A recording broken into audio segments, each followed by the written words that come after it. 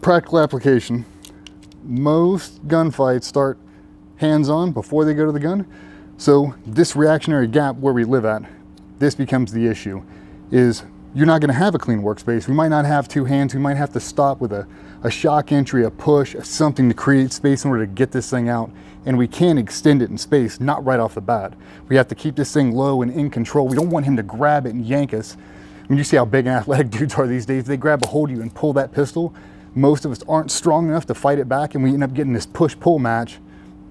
It's not gonna get better with time. So we have to be able to end this thing. And if this thing is coming out of the holster, out of or under a t-shirt or whatever else, time is of the essence and we have to make this thing happen. So from the retention aspect, create a little bit of space, nothing crazy. The moment we get this thing out, we have to retrieve this hand because it's part of our body and we will start to drop it off center line. And the issue becomes this. He starts to pull you down as it rolls over. Remember, it's clear and safe, guys. We don't have to be weird. So, nothing in there.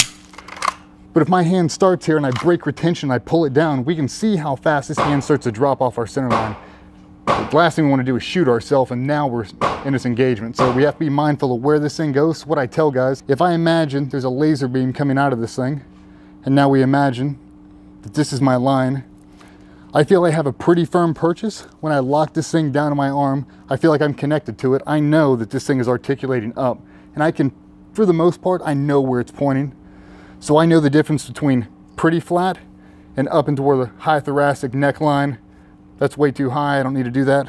But if you look at the anchor points where I'm going, when I break retention, I'm coming here fast and I'm not extending it.